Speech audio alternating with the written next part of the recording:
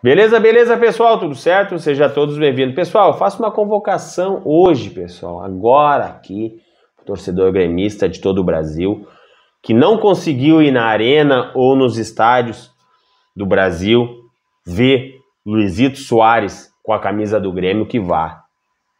Vá, torcedor gremista.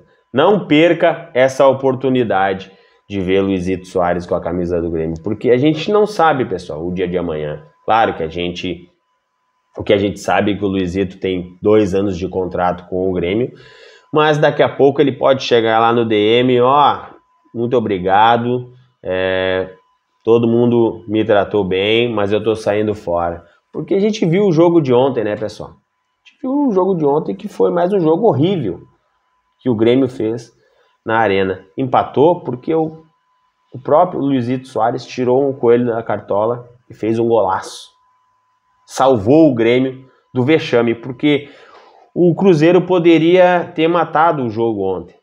Poderia ter sido pior se o Kahneman não tira aquela bola do Bruno Rodrigues. É...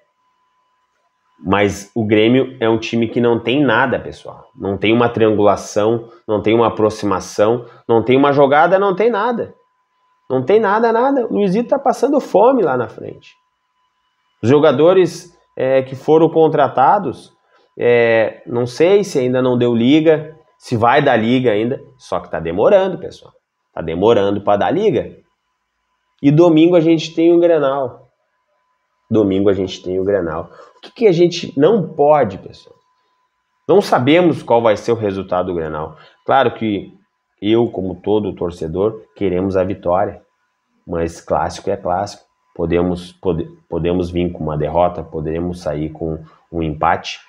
O que a gente não pode fazer é se esconder é, no resultado, nos resultados do clássico, porque o Grêmio ultimamente está fazendo isso, né, pessoal? Se escondendo nos resultados do clássico.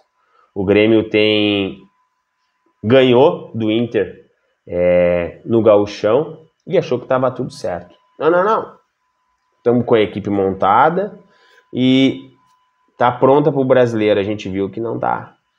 Seis jogos do brasileiro e mais cinco da Copa do Brasil. O Grêmio não jogou nenhuma partida bem, pessoal.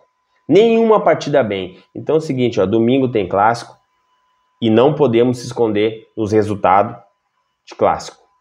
Beleza?